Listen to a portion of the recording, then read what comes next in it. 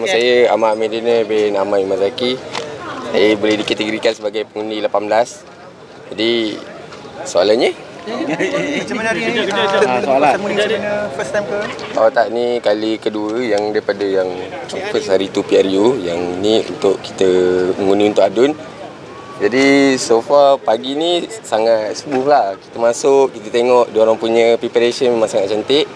Uh, sampai ke tempat saluran saya pun memang sangat uh, apa sangat lancar lah, tak ada masalah dan tak mengambil masa yang lama. Jadi silalah keluar mengundi. Duduk sini ke atau balik mengundi? Uh, saya uh, balik mengundi.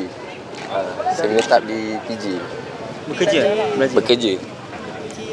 Kata orang muda tak minat dengan politik. Awak rasa macam mana? Uh, pada pendapat saya itu semua pilihan masing-masing. Jadi semua orang kena terima dengan hati yang terbuka. Tapi pada saya, uh, tanggungjawab sebagai seorang rakyat Malaysia, silalah menjalankan tanggungjawab dengan sepenuhnya.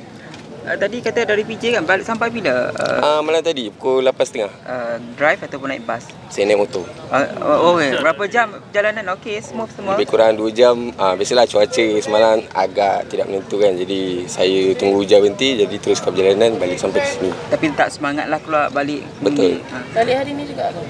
Uh, saya balik esok rehat dulu ke kampung.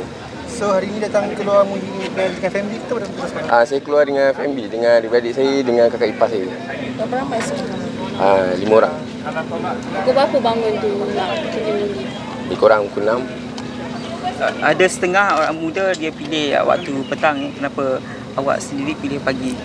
Um, pada pendapat saya, saya rasa waktu pagi ni lebih lebih segar untuk kita keluar rumah daripada petang sebab kadang-kadang petang ni mood kita nak keluar rumah tu dah tak ada. Memang panas semua. Jadi saya pilih untuk keluar pagi supaya senang. Mudah urusan